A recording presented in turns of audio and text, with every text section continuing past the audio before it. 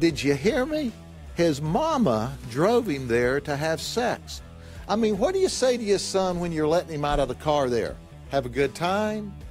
Be safe? Make mama proud? Did you hear me? This guy is just a nut. He said he liked handcuffs and blindfolds. Well, the good news for him is he got his handcuffs. Just help a brother out here. I'm calling the sheriff's office. If you're a good person in Polk County, you're going to enjoy a low crime rate, a safe community, and a wonderful, prosperous year. You need to not only tell them that they're out of their mind, you need to vote them out of office. Have a blessed day. Take care of yourself. Take care of each other. Bye for now.